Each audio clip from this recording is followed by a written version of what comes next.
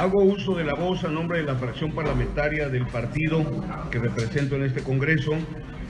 para respaldar la denuncia pública formulada el pasado martes por el presidente del Consejo Coordinador Empresarial en el sentido de que son objeto de cobros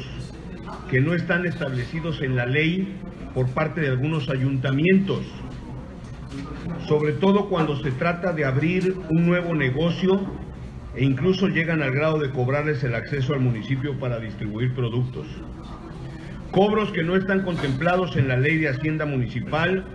ni en las leyes de ingresos que son los ordenamientos en donde regularmente se establecen las contribuciones que los ciudadanos debemos pagar a los municipios. No obstante,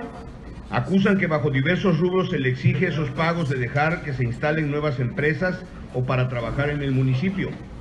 La actitud asumida por algunos ayuntamientos es muy grave, ya que inhibe la inversión y ahuyenta la que ya existe, pues los cobros son tan elevados que prefieren emigrar e instalarse en otros estados.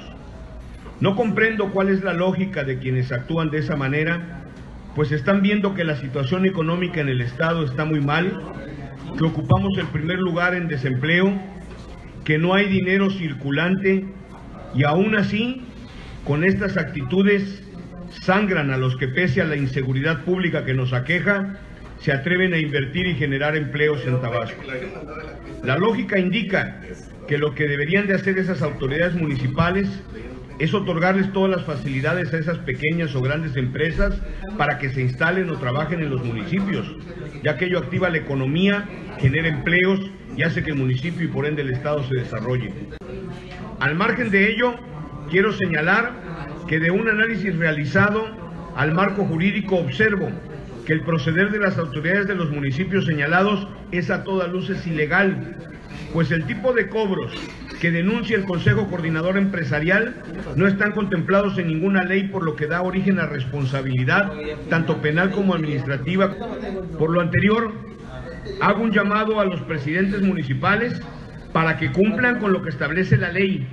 se abstengan de solicitar a los gobernados, en particular a los empresarios, el pago de contribuciones que no están establecidas en las leyes correspondientes. Asimismo, solicito al titular del órgano superior de fiscalización para que en las auditorías que realice al ente público a su cargo se vigile que el cobro de contribuciones se ajuste a la normatividad aplicable e informe a este pleno de lo que encuentre. Compañeras y compañeros, la instalación de nuevos negocios, de nuevas empresas debe ser una prioridad para el Estado, porque contribuye a su desarrollo a través de la generación de empleos y la compraventa de bienes y servicios. En este marco todos debemos de contribuir a que se brinden todas las facilidades que sean posibles para el asentamiento de nuevas fuentes de trabajo, por lo que sin perjuicio de los exhortos arriba señalados, propongo a mis compañeros diputados integrantes de la Comisión de Fomento y Desarrollo Industrial, Económico, Artesanal, Comercial y Turístico, Juan Manuel Fósil, quien la preside, Federico Madrazo, Ana Luisa Castellanos, Charles Méndez, José Atila Morales y Solange María Solerlanz, para que con base en las facultades que nos confiere la Ley Orgánica del Poder Legislativo y el Reglamento Interior del Congreso, acordemos sostener una reunión con los integrantes del Consejo Empresarial, con los presidentes municipales de los ayuntamientos señalados, ya sea de manera conjunta o separada para escuchar sus planteamientos y ayudarlos a encontrar una solución.